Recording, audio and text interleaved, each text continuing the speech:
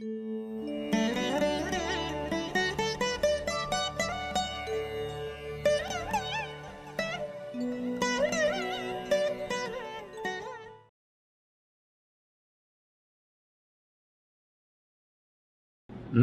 அனைவருக்கும் வணக்கம். எல்லோரும் நன்றாக இருப்பீர்கள்.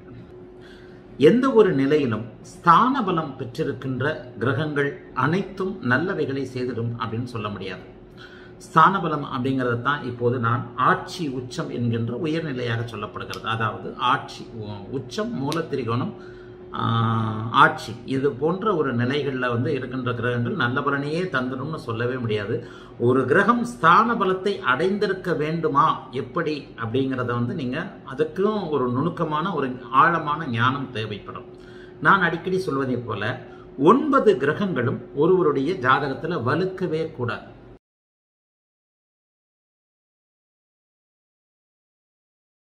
ஒரு நல்ல ஜாதகத்தில் எதையும் அனுபவிக்க பிறந்த ஜாதகத்தில் கிரகங்கள் நட்பை விட கீழான நிலைமையில் வந்திருக்காது.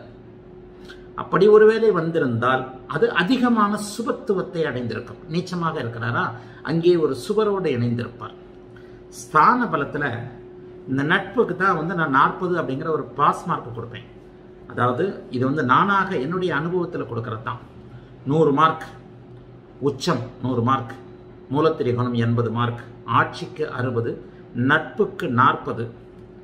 அதுக்கடுத்து நட்புக்கு கீழே சமம் வந்துடும் சமத்திற்கு இருபது பகைக்கு பத்து நீச்சத்திற்கு ஜீரோ.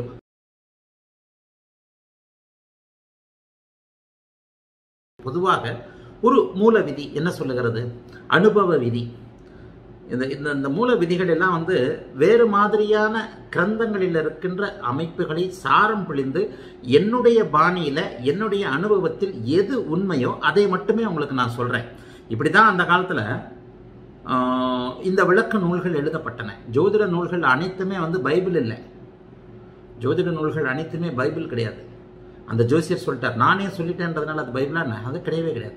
உங்களுடைய அனுபவத்தில் எது ஒத்து வருதோ பெரும்பான்மை கருத்திற்கு எது ஒத்து வருகிறதோ அதுதான்.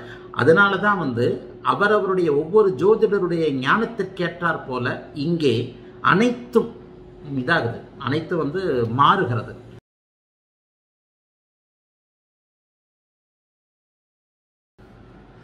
எப்போது சூரியன் எந்த லக்னமாக இருந்தாலும் இதை இதை வந்து நான் எந்த லக்னம்னு கூட சொல்லிடுவேன். இந்த மேற்கண்ட வீடுகளில் இருக்கின்ற சூரியன் தன்னுடைய சாதகமற்ற பலன்களை குறைத்தே செய்வார். நட்பு வீடுகளில் இருக்கிற கிரகங்கள் நல்ல பலன்களையே செய்யும் அப்படிங்கிறது ஒரு விதி. ஆதிபத்திய காரகத்துவ அமைப்புகளுக்கு ஏற்ப அதற்கு இது ஒரு பே- இது ஒரு விதி. இந்த விதிக்கப்புறம் மேலே வந்து அவருடைய சுபத்துவ பாவத்துவ அமைப்புகளை நீங்கள் பொருத்தி பார்த்துக்கணும்.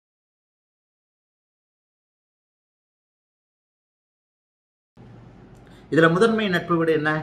முதன்மை நட்பு வீடு செவ்வாயின் வீடு தான் ஏன்னா ஒன்பதாம் இடம் நான்காம் இடத்திற்கு அதிபதியான முதன்மை நட்பு வீடு. விருச்சிகத்தில் நட்பு மேஷத்தில் நட்பு தனுசில் நட்பு மீனத்தில் நட்பு.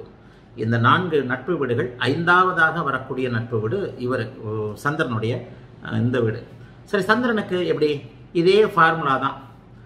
ஆறு எட்டுக்குடையவர் ஆறு எட்டுக்குடையவர் பகைவர் அப்படின்ற நிலைமையில் எட்டுக்குடைய சனி வந்து வழக்கம் போல் வந்துடுது ஆக நம்ம நட்பு வீடை மட்டும் பார்த்து கொண்டிருக்கிறோம். இங்கே நட்பு வீடு அப்படின்னு வந்துட்டோம்னா நண்பர்களான ஐந்துக்குடைய ஐந்துக்குடைய இதே செவ்வாய். இந்த செவ்வாய் இரண்டுக்குடைய சூரியன். இப்போது இவர் அந்த லக்னத்துக்கு அடுத்த நிலையில் இருக்கின்ற சூரியன் சிம்மத்திற்கு சந்திரனுக்கு நட்பு வீடு.